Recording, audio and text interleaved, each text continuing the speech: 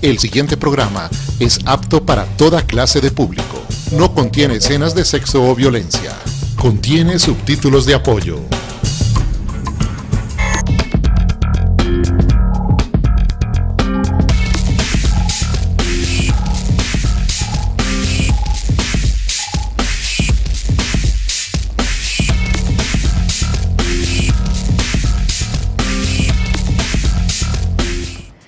Muy buenas tardes para todos. Nos encontramos de nuevo en Parihueleando con Vos, este espacio que Telemedellín tiene para que usted se conecte con nosotros, para que todos los días hablemos de un tema de interés, para que preguntemos, para que le preguntemos a una persona especializada en un tema eh, todo lo que nos interese, todo lo que podamos aprender. ¿Para qué? Para prevenir enfermedades, para entender cómo funcionan las cosas en nuestra ciudad, para ver qué está pasando también en nuestra ciudad, aprender, educarnos. Esta es una de, una de nuestras misiones que tenemos aquí en este, su canal Telemedellín. Muy buenas tardes, Miguel.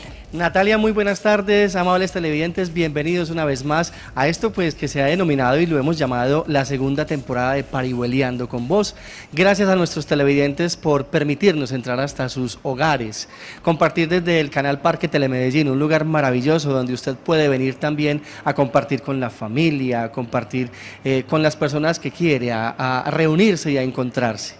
Hoy es 13 de junio de 2017 y tenemos eh, grandes invitados en el día de hoy.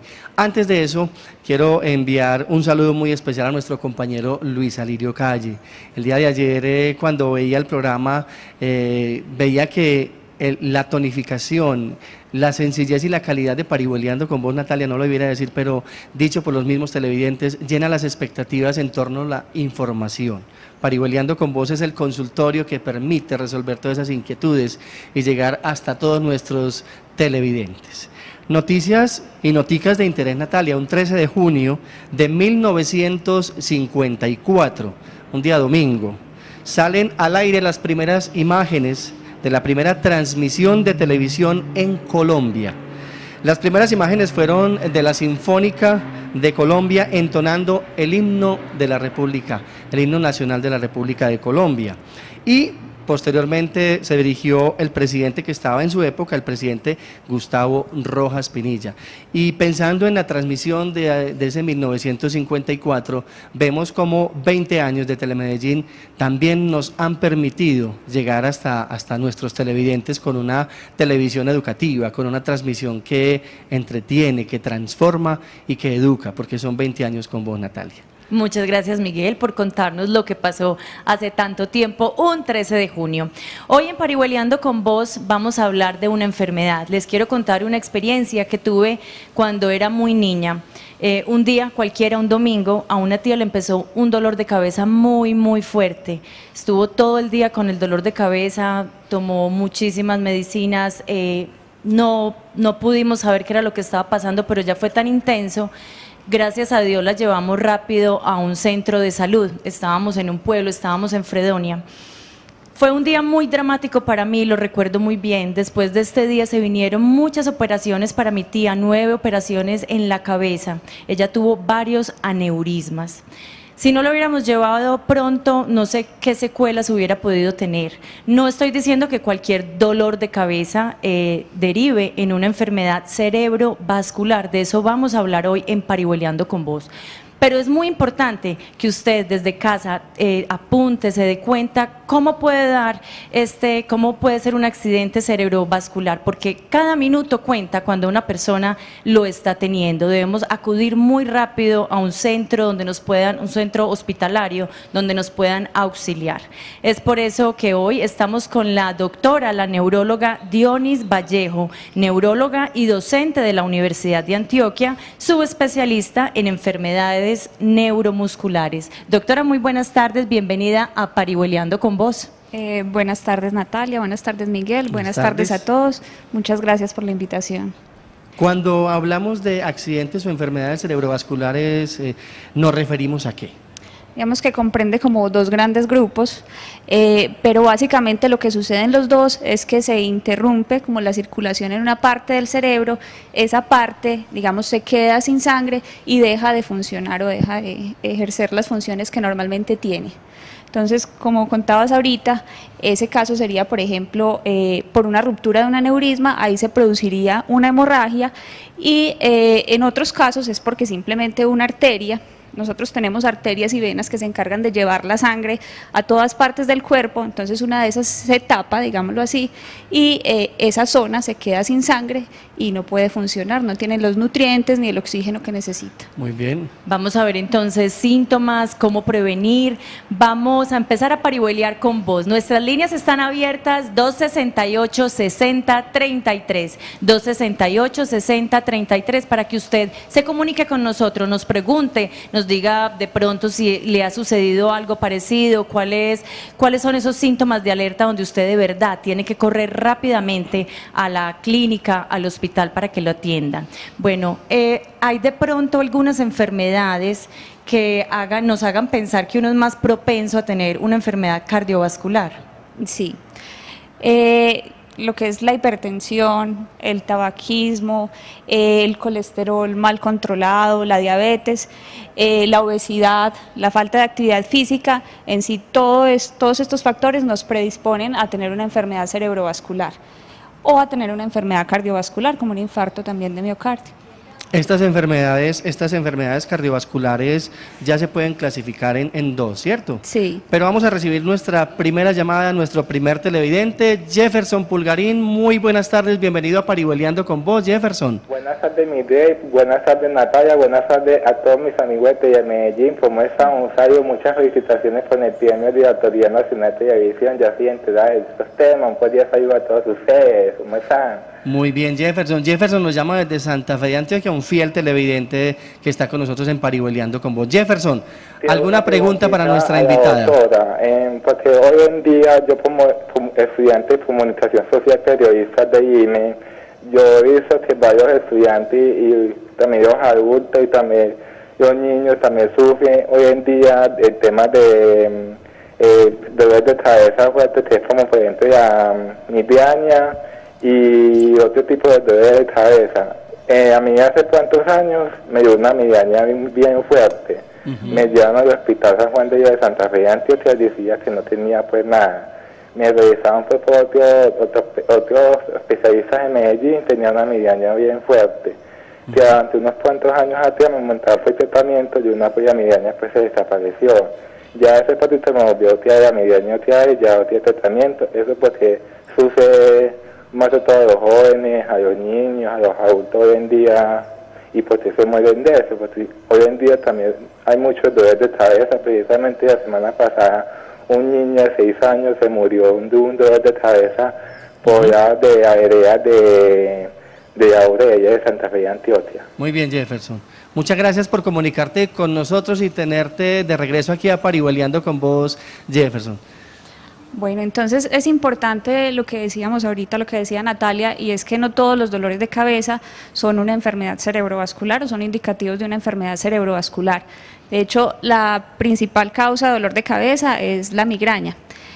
Lo que hay que tener en cuenta es que cuando sufrimos de un dolor de cabeza durante mucho tiempo y ese dolor cambia su comportamiento, decimos, este no es el dolor que usualmente me da, sino que este es el peor, nunca había es demasiado fuerte la migraña es un dolor muy fuerte también, pero digamos que las personas que tienen eh, dolores de cabeza como crónicos o repetitivos ya reconocen cómo es su dolor de cabeza. Si ese dolor de cabeza es completamente distinto a lo que siempre han tenido, es mejor acudir inmediatamente a urgencias. O si nunca han tenido y es el primero también.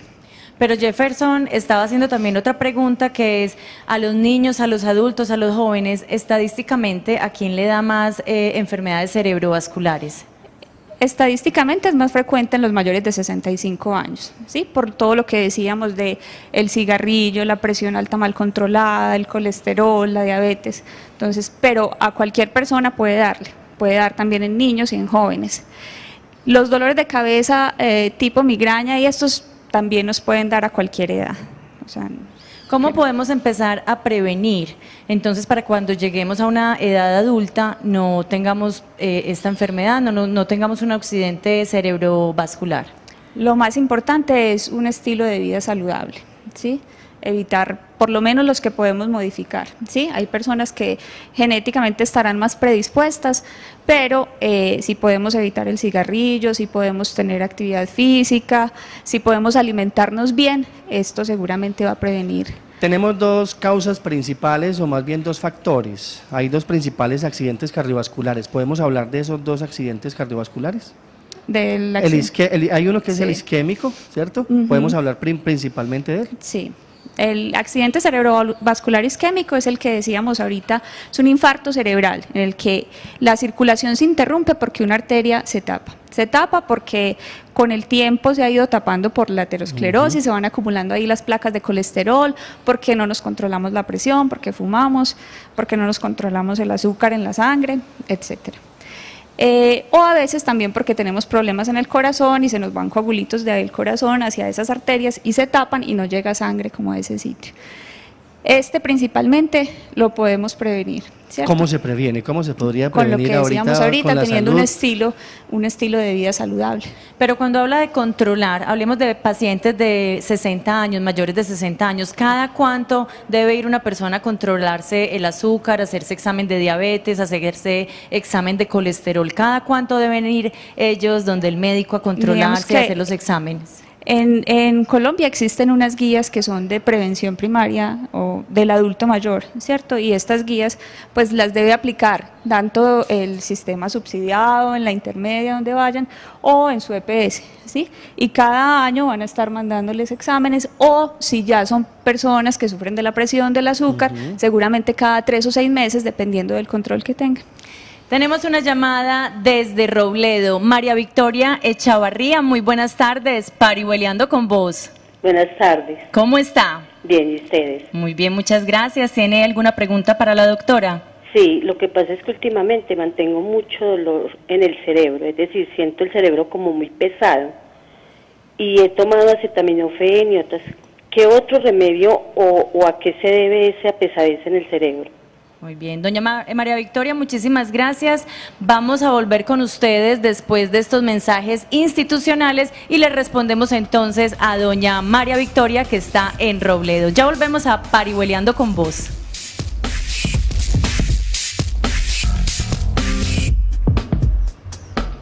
Y continuamos parihueleando con vos y estamos hablando de los accidentes cerebrovasculares. Antes de ir a mensajes institucionales, la señora María Victoria Echavarría de Robledo le estaba preguntando a la doctora que sentía su cabeza muy pesada, muchísimo dolor. Doctora, ¿qué de pronto le está pasando a, a doña María Victoria? Bueno, es eh, importante que recordemos que esa sensación de pesadez que muchas personas tienen muy frecuentemente no es un síntoma de enfermedad cerebrovascular. Sin embargo, sí es importante que eh, el médico eh, la revise porque así es muy difícil establecer que definitivamente no hay ningún signo de alarma y establezca un tratamiento, porque cuando estos dolores empiezan a ser muy repetitivos, sí afectan mucho la calidad de vida y se pueden manejar con medicación. Bueno, ahorita estábamos hablando de lo que tiene que ver con el accidente cerebrovascular isquémico, ¿cierto? Vamos a hablar del hemorrágico, porque hay dos tipos. ¿Es hemorrágico en, en, qué ocasiones es riesgoso o es peligroso?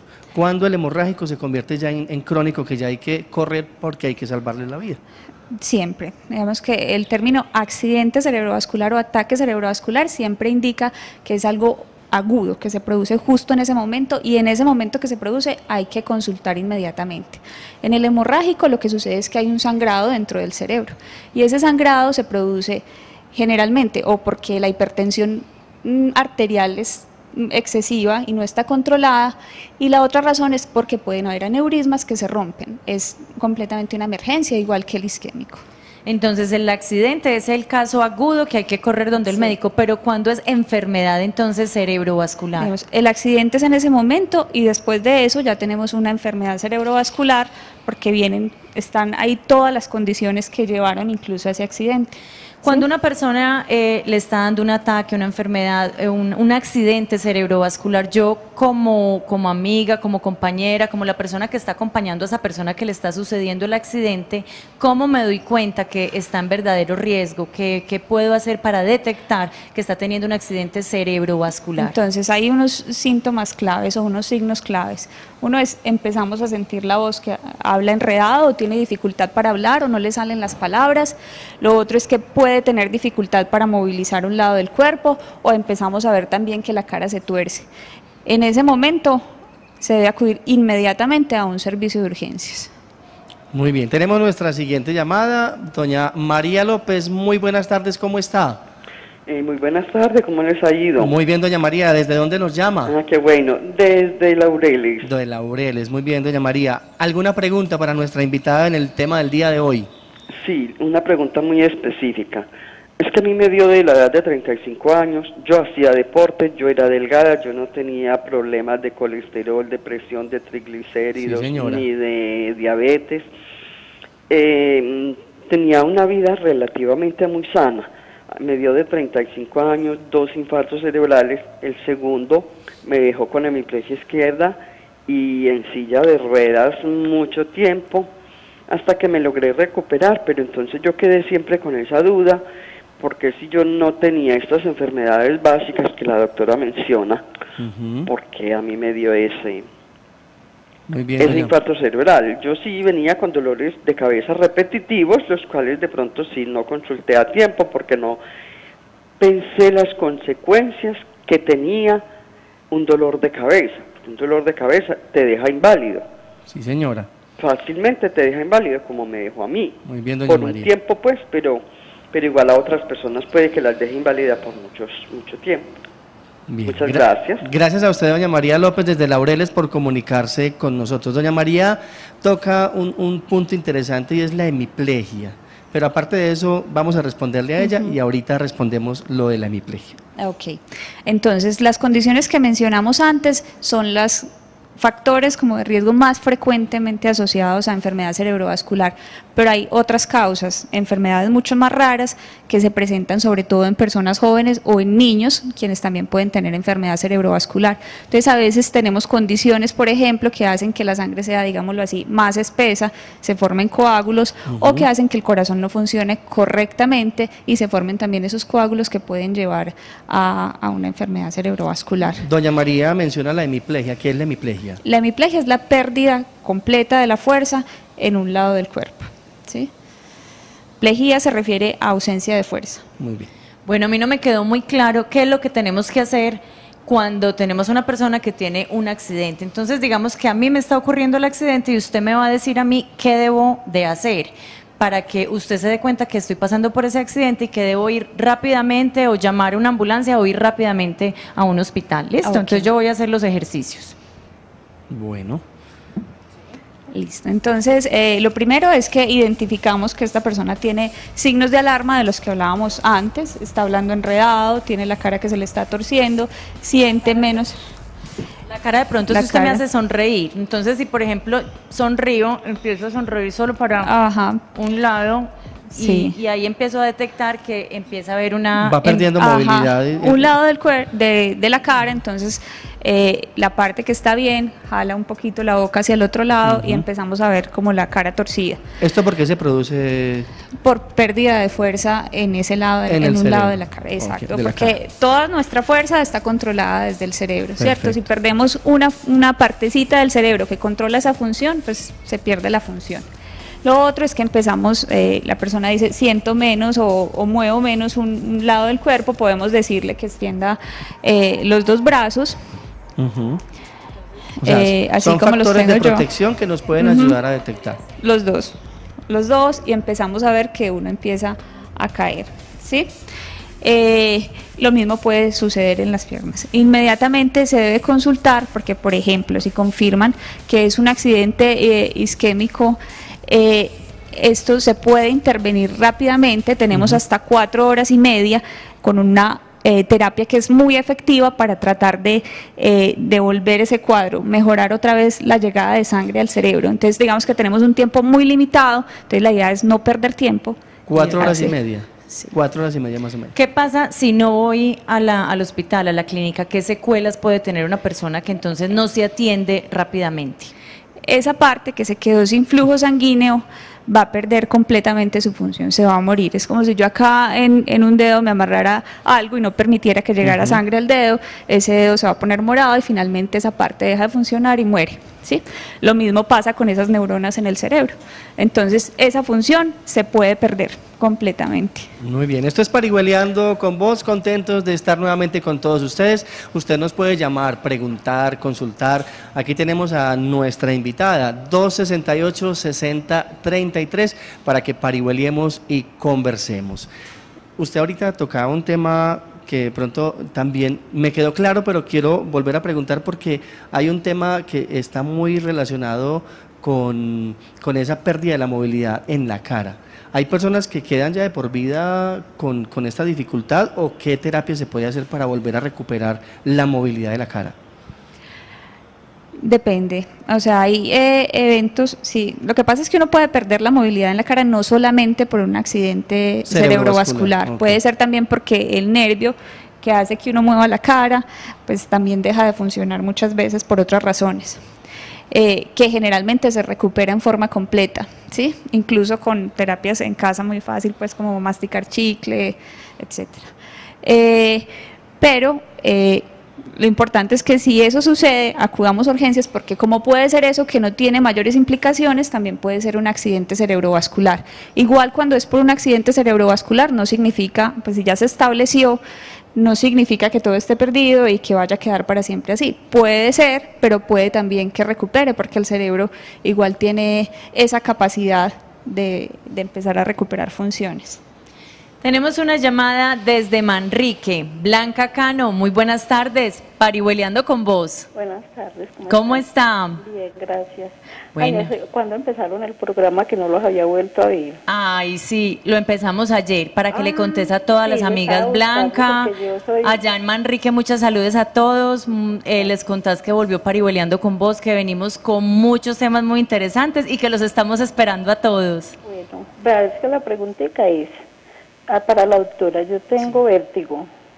Tengo vértigo, ya el otorrino me miró, pero tengo días que amanezco con dolor de cabeza, muy leve. A ver si, si el dolor de cabeza tiene que ver algo con el vértigo. Ya me estoy, ya estoy pues en tratamiento, porque el otorrino me mandó, me mandó fisioterapia y me mandó unos exámenes que todavía no me los han hecho, porque me los mandaron retardaditos, pero bueno, ahí estoy en el proceso pero tengo días que amanezco con dolor de cabeza, muy leve. A ver si, si tiene algo que ver eso.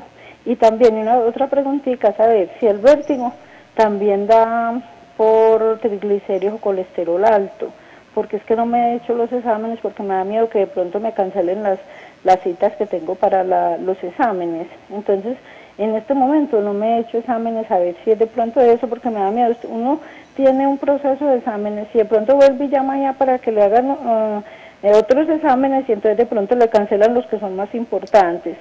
Y ya, muchas gracias porque me mareo mucho al acostarme, al levantarme y al mirar para arriba. Eh, si yo me levanto rápido, ahí mismo me quedo pues toda mareada y hay muchas gracias por el programa, los felicito y los sigo oyendo porque yo soy fiel oyente. Gracias. Muchas gracias Blanca. Eh, de verdad, muchísimas gracias por estar con nosotros. Seguís todos los días entonces bien conectada a las 4 de la tarde y le contás a todo el mundo. Blanca nos habla de dos cosas, del vértigo y también eh, del colesterol. Pero Blanca, no vas a dejar que te cancelen las citas, listo, porque de verdad tienes que hacerte todos esos controles. Doctora. Bueno, entonces eh, el vértigo, así como nos cuenta doña Blanca, parece más un vértigo que se ocasiona por eh, un problema en una partecita del oído que se encarga de controlar el equilibrio, ¿sí? Por eso cuando cambiamos de posición, digamos que se produce.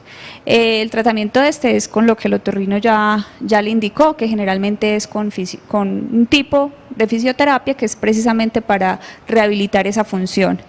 Esas sensaciones de vértigo sí pueden relacionarse también con dolor de cabeza, que generalmente es leve como el que ella tiene. Y eh, los trastornos del colesterol y los triglicéridos no son causa frecuente de vértigo, contrario a lo que la, mayor, la mayoría de la gente piensa. O sea que doña Blanca puede hacerse los exámenes tranquilamente, sin temor, sin sí, tener porque se los debe hacer por control. Muy bien. Pero debe hacer su terapia de rehabilitación indicada por el otorrino. Muy bien. Invitación entonces para que usted siga viéndonos de 4 a 5 de la tarde aquí en Parihueliando con vos a través de nuestro canal Telemedellín. ¿A ustedes les gusta el café?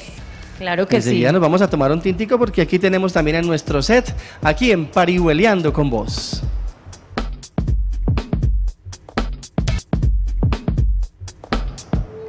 Y continuamos parihueleando con vos. Yo espero que se hayan tomado un tinto bien rico. Aquí Miguel nos está dando tintico también a la doctora y a mí, qué rico. Y tenemos una llamada desde Manrique, María Castrillón. María, muy buenas tardes, parihueleando con vos. Qué bueno que hayan vuelto. Ay, muchísimas gracias. Oiga, cuénteme una cosita, tenemos mucha sintonía en Manrique. ¿Cómo se están preparando para el Festival de Tango? Qué dicha. Pues yo soy poco como de salir, pero por acaso muy animado.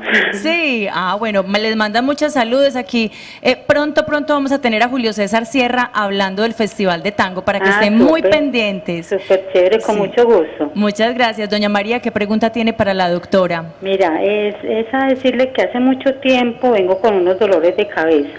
Resulta que yo después al ver que no me los aguantaba, yo tomaba todas las pastillas que usted quiera y entonces fui a la EPS y la doctora me mandó eh. Con esa me estuve pues controlando mucho y se me quitaba porque uno tiene que tomar la pastilla ese mismo que empieza como el dolorcito. Después me la tuve que empezar a tomar con dos acetaminofén porque no me, no me, no me, se me quitaba con eso. Volví a la, a la EPS y la doctora me dijo que no, ni riesgos pues tanta, tanta pastilla. Me mandó nipodipino por un mes, pero que no dejara fencafén y a mí no se me quita. Yo sigo, a mí me duele en el mes por ahí 20 veces la cabeza. Entonces yo quiero preguntarle a otras, eso tendría de pronto eh, alguna consecuencia que me dé pronto un accidente. Eh, esto que, ¿cómo es? Unas sugerencias y recomendaciones para que usted continúe con su tratamiento. Recuerde que desde acá es muy difícil darle un tratamiento porque ella la necesitaría ver, pero sí le puede hacer unas recomendaciones. Doña María, muchas gracias por parihuelear con nosotros. Doctora, ¿qué le podemos decir a doña María? Bueno, entonces... Eh, probablemente esto no, no, es un accidente cerebrovascular ni está relacionado, porque son esos dolores de cabeza que son desde hace mucho tiempo. Pero cuando un dolor de cabeza se vuelve tan seguido, sí es importante eh, consultar, porque cuando empiezas a tomar analgésicos y analgésicos y analgésicos, esto hace que el dolor sea cada vez peor y más difícil de tratar. Entonces haces una cosa que es un dolor de cabeza por los mismos analgésicos que toma. Por eso la doctora te manda un tratamiento que es preventivo, que generalmente hay que usarlo durante más tiempo. Pero si no, pues te debe remitir al neurólogo para que te revise. Pero si nunca abusar de los analgésicos, de tomarlos diario, porque esto va a hacer que el dolor sea peor y puede traer otras consecuencias también sobre otros órganos. Muy bien, la Organización Mundial de la Salud este año ha decretado como tema principal la depresión. Para ustedes que nos están viendo en casa, la depresión es el tema al cual ellos le quieren hacer prevención, prevenir eh, ese tipo de, depresión. Muchas de las personas se deprimen. Dentro de esos, esos factores de accidentes cerebrovasculares, ¿qué tanto influye el estrés? ¿Qué tanto influyen las preocupaciones, los problemas, para que sea uno más propenso a ello? Digamos, el estrés influye sobre todas las condiciones, todas las enfermedades y sobre la salud misma. Entonces, eh, finalmente, cuando tenemos una vida llena de tensión, seguramente vamos a tener una hipertensión que no se controla, vamos a generar arritmias y finalmente esto lleva a muchas consecuencias sobre el organismo. E incluso después de que ya se ha sufrido una, eh, un evento cerebrovascular, pues obviamente si tenemos más estrés va a ser, va a ser peor las, las secuelas se van a sentir peor, todo, todo va a ser peor si estamos con estrés y tensión. Claro que sí. Tenemos otra llamada desde Bello, Margarita Vallejo. Muy buenas tardes, parihueleando con vos. Buenas tardes, ¿cómo está? Muy bien, ¿y usted? Bien. Mi niña, para hacerle una preguntita a la doctora. Claro que sí, adelante. ¿Qué relación tiene a una niña de 19 años que le diagnosticaron disautonomía? Nunca en ningún programa he escuchado qué relación tiene, quién lo trata, me gustaría que me hablara sobre eso. Ah, bueno, señora, perfecto. Lo tomaremos nota y se lo traeremos muy pronto a Parihueleando con vos. Muchísimas gracias eh, por decirnos, porque eso, eso es lo que queremos, que ustedes también nos ayuden a agendar los temas que necesitan todos los días, los temas de interés. Y doña Margarita, ¿tiene de pronto alguna pregunta sobre esta enfermedad, sobre estos accidentes cerebrovasculares? No, o sea, mi pregunta es qué relación, o sea, eso es una niña de... A la disautonomía y los accidentes cerebrovasculares vasculares. Ah, bueno, señora. ¿Tiene relación eso? ¿Y quién lo trata? Si lo trata el neurólogo, en este momento la está tratando eh, un cardiólogo. Mm. Está en un proceso, a ver, ¿quién trata? Si es el cardiólogo, si es el neurólogo, me gustaría saber que, quién de... qué especialista trata esa enfermedad. Ok. Bueno, doña Margarita, muchas gracias. Bueno, entonces, en términos generales, la disautonomía no es una manifestación de enfermedad cerebrovascular eh, digamos que es una situación compleja donde no interviene un solo especialista. El neurólogo la trata, trata ciertos aspectos de la disautonomía, el cardiólogo trata otros y pueden intervenir otras especialidades como por ejemplo un fisiatra o un deportólogo. Doctora, usted dice el tiempo es cerebro, ¿qué quiere decir con esto? Esto quiere decir que entre más nos demoremos en acudir a un centro médico cuando tenemos una enfermedad cerebrovascular, perdemos más cerebro. ¿sí? O sea, entre más rápido lleguemos, seguramente vamos a tener mucho más cerebro para salvar y mucho más funciones para salvar. Eh. Ahorita estábamos hablando de los dolores de cabeza y yo no quiero dejar pasar esto porque usted estaba diciendo no tomen tanta medicina para el dolor de cabeza. Los colombianos, yo creo que en el mundo nos acostumbramos, dolor de cabeza, ahí mismo una pastilla, dolor de cabeza, ahí mismo una pastilla. Nos automedicamos. Nos automedicamos, sí, y es un gran problema para la salud. Para no tomar inmediatamente una pastilla para un dolor de cabeza, ¿qué puede hacer una persona de pronto para acabar ese dolor de cabeza de una manera natural? No, lo primero que tenemos que saber es que el dolor de cabeza es una manifestación de una enfermedad que está subyacente, que no necesariamente es una enfermedad grave que nos vaya a matar, pero sí puede ser una enfermedad discapacitante, como la migraña, por ejemplo. Entonces, lo primero es tratar de ponerle un nombre a ese dolor de cabeza. O sea, no existen los dolores de cabeza normales. ¿Sí? Existen los dolores de cabeza o porque tenemos migraña o porque tenemos otro tipo de dolor de cabeza que se llama cefalea tipo tensión o muchos otros tipos de dolores de cabeza que hay. Cefalea Tipo tensión. Tipo tensión. Pero igual hay muchos, muchas muchos tipos de dolores de cabeza o digamos enfermedades cuya manifestación principal es el dolor de cabeza y son dolores de cabeza crónicos. Entonces lo más importante es no decir, ah, es que yo toda la vida tengo dolores de cabeza normal. No, es acudir al médico, mirar qué tipo de dolor de cabeza tengo, si es muy episódico, o sea, por allá de vez en cuando, dos o tres veces al año, pues el médico me indicará que tome un analgésico, pero si se empieza a ser muy frecuente, siempre va a necesitar un tratamiento para precisamente que estos dolores de cabeza no sean cada vez más difíciles de manejar. Muy bien, esto es Parihueleando con vos, más televidentes se suman a nuestro programa. Flor Céspedes desde Buenos Aires, muy buenas tardes Flor y bienvenida. Buenas tardes. Bien, ¿cuál es su pregunta, Flor? Eh, buenas tardes, una preguntita para la doctora. Eh, ya va la segunda vez que hoy me estaba bañando y abrí la ducha, ya me estaba jugando cuando me dio un dolor de cabeza impresionante, muy fuerte, muy fuerte y me rebajó un poquito, pero en este momento todavía lo tengo. Pero pedí pues cita de medicina general, no sé si tengo que ir directamente a urgencia, no sé. Muy bien, Flor, muchísimas gracias por comunicarte con nosotros. Tengo entendido que el agua fría es un vasodilatador en el cerebro, pero ¿qué podemos decirle a Flor eh, respecto a su pregunta? ¿Es eh, frecuente, es normal que le dé dolor de cabeza mientras se baña? No, digamos que esto es un signo de alarma y, eh, y Flor nos ha dicho ha tenido solo dos dolores de cabeza, sí, o sea que la idea es que pida una cita prioritaria o vaya por urgencias. Muy bien. Entonces es importante, doña Flor, que no haga caso omiso a este dolor de cabeza. Otra pregunta que nos hicieron detrás de cámara, que suele suceder, pues nos preguntaban que si es verdad o es un mito que la gente acalorada no se puede bañar o cuando se levantan están muy acalorados o se hacen ejercicio y se bañan, ¿eso puede producir un accidente cerebrovascular? No, eso es un mito. Es un mito. En realidad no. O sea, uno puede hacer el ejercicio que quiera, puede Darse hacer una su ducha gimnasio, rápida se da una ducha. ¿De sí, cuánto esto tiempo? no Es que no. Hay gente que se queda en la ducha todo el tiempo, entonces pero generalmente es una ducha rápida, pero igual así sea rápida o sea larga, no te va a ocasionar un accidente cerebrovascular. Hablemos un poquito de la alimentación, que es importante tocar este tema, porque a muchos nos gusta el sancocho, nos gusta la carnita gorda. ¿Qué repercusión o qué problemas pueden tener más adelante eh, el consumo de pronto de, de alimentos grasosos, eh, ricos en grasas, también como para alimentar un poquito la posibilidad de que me dé un accidente cerebrovascular?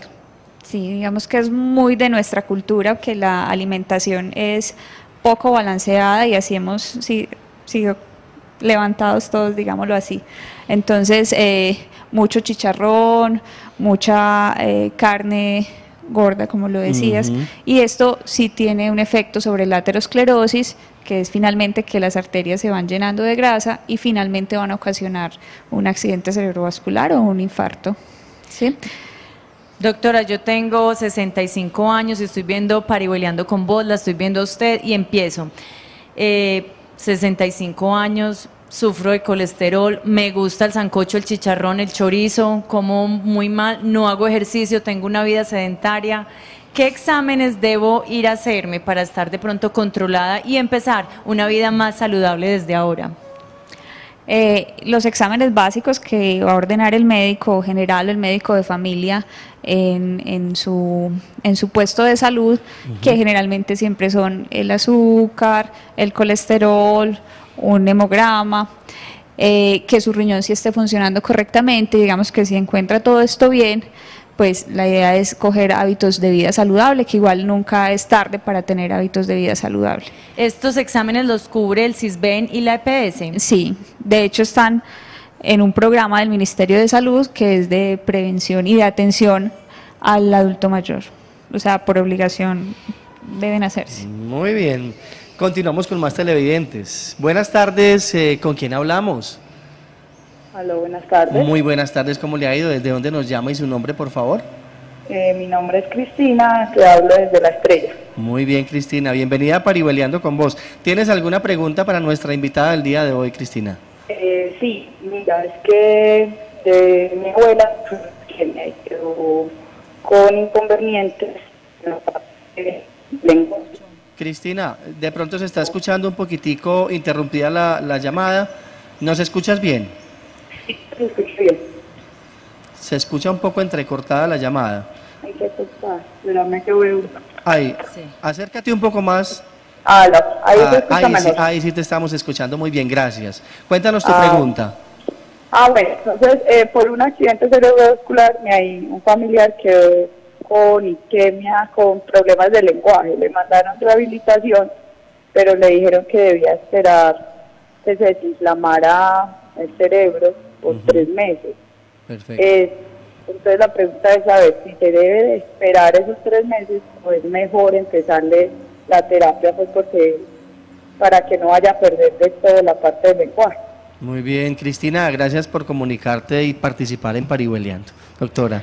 Bueno, Cristina, eh, es mejor empezar inmediatamente. O sea, nunca se debe esperar para la rehabilitación. De hecho, si se puede empezar el primer día, el primer día y en forma intensa y sobre todo para el lenguaje. O sea, ella no debe esperar. No. No, no, no. La rehabilitación hay que empezarla temprana. Muy bien. Muy bien, estamos parihueleando con vos, estamos hablando con la neuróloga Dionis Vallejo. Vamos a seguir hablando de los accidentes cerebrovasculares. Parihueleando con vos, ya volvemos después de estos mensajes institucionales.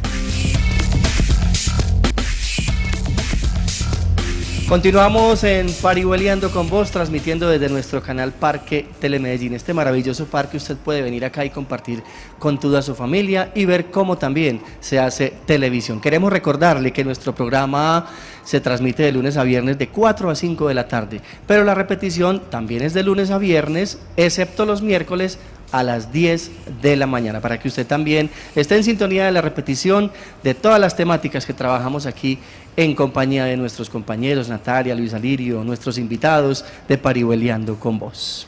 Sí, señor.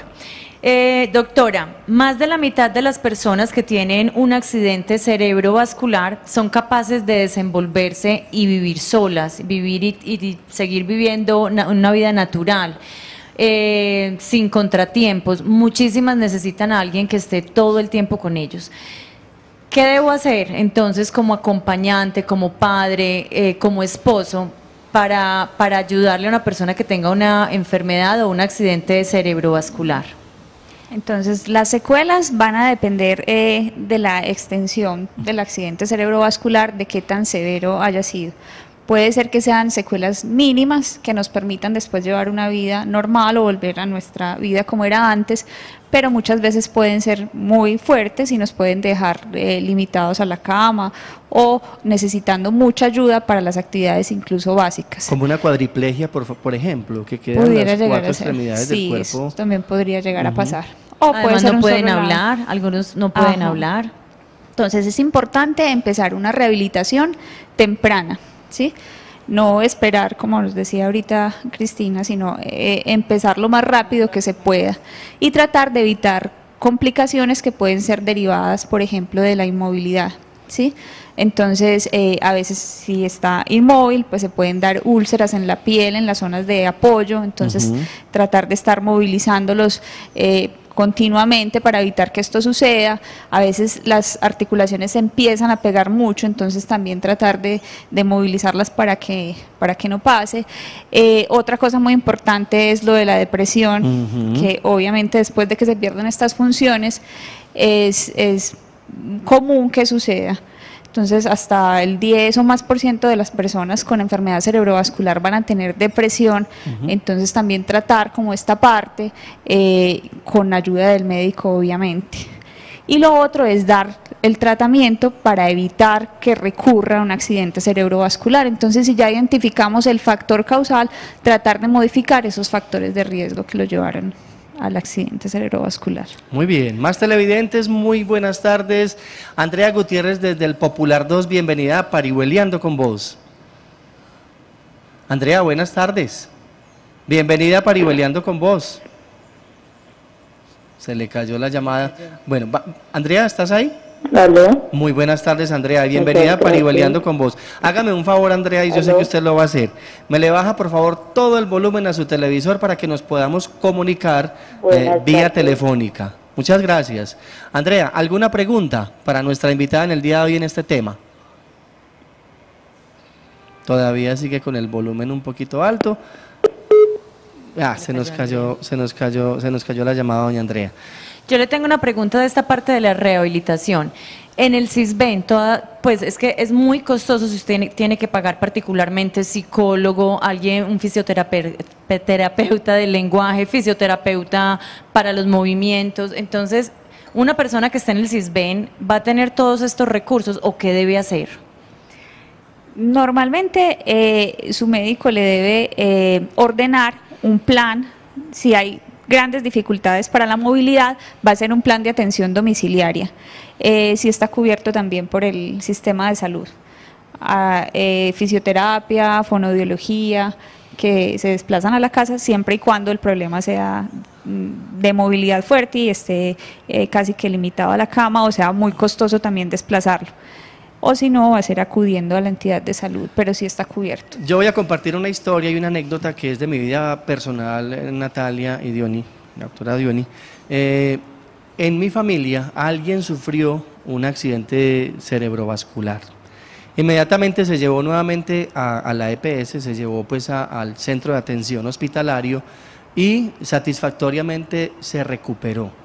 La actitud de esta persona ayudó a que este tratamiento, a que este trabajo, a que esta recuperación fuera más, más ligera, fuera más inmediata.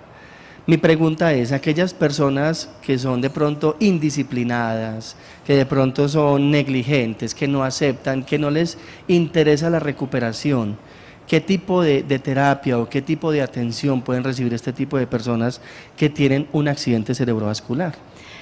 Por eso ahorita hablábamos, por ejemplo, de tratar la depresión, de la importancia de tratar la depresión, porque muchas veces no es que la persona en sí no lo quiera, sino que tiene una condición asociada a la enfermedad cerebrovascular y también como consecuencia de la enfermedad cerebrovascular que hace que su ánimo esté tan abajo que definitivamente ya no le interesa ni la, ni la rehabilitación. Digamos que si intervenimos esto, porque obviamente el afectado es el que más necesita estar como activo o interesado precisamente en ese proceso de rehabilitación. ¿sí? Entonces, obviamente la actitud juega un papel fundamental, pero muchas veces la actitud no es porque uno, porque el que está enfermo no quiera, sino porque tiene una enfermedad también que es la depresión. Se debe recibir atención psicosocial, atención psicológica, porque me imagino yo que al interior de ese núcleo familiar, por ejemplo, miremos una familia monoparental, que solamente está el papá y el hijo, en fin, que sea una familia que sea muy, muy, muy pequeña, una familia pequeña.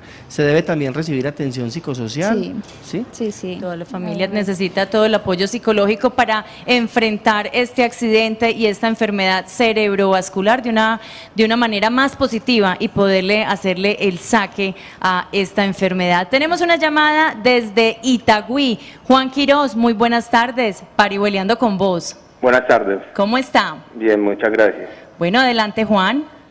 Para la doctora. Sí, señor. Lo que pasa es que yo tuve algo como así de un accidente neurovascular. Me dicen que fue como una malformación, una venita me reventó. Y a raíz de eso, de un dolor de cabeza, en el momento perdí mucho la visión de un lado. Ya después de exámenes y de todo que descartaron de que era aneurismas y todo eso, la visión yo la he ido recuperando, pero todavía siento que me falta algo al lado izquierdo. Quería saber si por medio de ustedes, de la neuróloga, o a dónde me voy a dirigir yo para mirar cómo puedo recuperar más la visión. Muy bien, Juan. Muchísimas gracias por parihuelear con nosotros. Doctora, ¿a dónde se debe dirigir Juan? Bueno, entonces hay eh, un programa eh, de baja visión en, el Hospital eh, San Vicente, en la Fundación Hospitalaria San Vicente de Paul, donde podrían darle indicaciones. a veces estos problemas de visión que quedan después de un accidente cerebrovascular, hay que saber exactamente cuál fue la extensión de ese accidente para saber qué tanto se va a recuperar. Puede ser que no recuperemos del todo, que quede algo, pero lo importante es llegar a ser lo más funcional e independiente posible a pesar de que haya una limitación. ¿sí? Entonces, de pronto, más que es que lo vamos a recuperar del todo, es como aprender a llevar de pronto ese poquito que falta o que quedó faltando. Bueno, vamos llegando al final del programa de hoy de Parihueleando con Vos. Queremos hacer unas recomendaciones. Si usted está con una persona y empieza a hablar confuso, si está de pronto tampoco entendiendo o escuchando bien, si empieza a tener eh, una extremidad adormecida, o también se empieza a paralizar parte de su cara, tenga mucha atención, corra rápido a una clínica, a un hospital, porque esa persona puede estar teniendo un accidente cerebrovascular. Y como decía la doctora ahora, el cerebro es tiempo, ¿cómo era su tiempo frase? el tiempo es cerebro, hay que correr rápido, rápido, porque mientras más nos demoremos, eh, peores van a ser las secuelas para esta persona. Recomendaciones, doctora. Ok, la más importante es eh, saber que existe un tratamiento para el accidente cerebrovascular en ese momento y que hay que acudir inmediatamente a urgencias, o sea, no dejar pasar si es que esto se, se, me mejora en un ratico, no, ante la menor duda, inmediatamente un servicio de urgencias porque tenemos una ventana de tiempo muy limitada. Cuatro horas y media tenemos. Cuatro horas y media y si intervenimos en ese momento es probable que el pronóstico sea muy diferente así dejamos que pase el tiempo. Y lo otro es que es una condición que en la mayoría de los casos puede ser prevenible si tenemos un estilo de vida saludable. Además, ejercicio también es importante, interesante aplicarlo y hacerlo todos los días. Esto es Parihueleando con vos. Estamos llegando ya al final. Dígame la verdad, ¿estaba rico el tinto o no? Sí, estaba muy rico. muchas gracias. Sí, estaba muy rico. Esto es Parihueleando con vos. Llegamos al final de otro programa más. Agradecimientos muy especiales a todo nuestro equipo de producción, a nuestra directora, a nuestra productora, a ustedes, amables televidentes. Mañana otro tema más aquí de Parihueleando con vos, porque en Telemedellín 20 años. Con vos. Hasta una próxima.